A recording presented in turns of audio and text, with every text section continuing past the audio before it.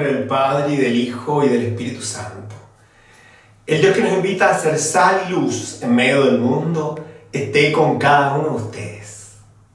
Del Evangelio según San Mateo. Jesús dijo a sus discípulos, ustedes son la sal de la tierra, pero si la sal pierde su sabor, ¿con qué se la volverá a salar? Ya no sirve para nada, sino para ser tirada y pisada por los hombres. Ustedes son la luz del mundo. No se puede ocultar una ciudad situada en la cima de una montaña, ni se enciende una lámpara para meterla debajo de un cajón, sino que se la pone sobre el candelero para que ilumine a todos los que están en la casa. Así debe brillar ante los ojos de los hombres la luz que hay en ustedes, a fin de que ellos vean sus buenas obras y glorifiquen a su Padre que está en el cielo. ¿A qué estamos llamados los cristianos en el mundo de hoy?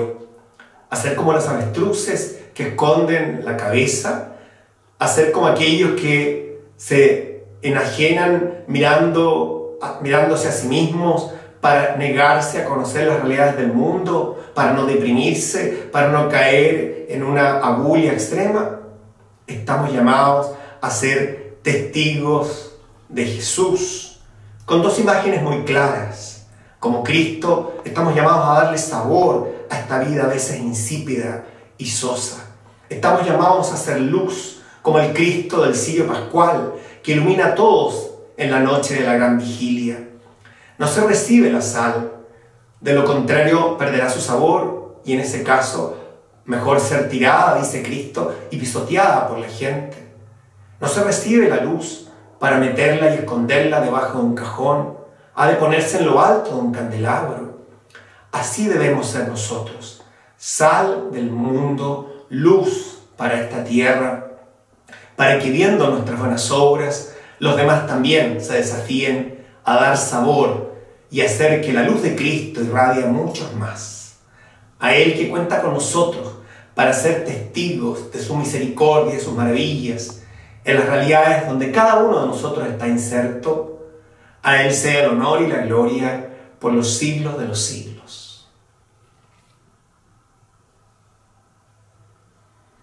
Creo, Jesús mío, que estás real y verdaderamente en el cielo y en el santísimo sacramento del altar. Te amo por sobre todas las cosas y deseo vivamente recibirte dentro de mi alma. Mas, no pudiéndolo hacer ahora sacramentalmente, ven espiritualmente a mi corazón. Y como si ya te hubiese recibido, te abrazo y me uno del todo a ti. Señor, no permitas que me separe de ti.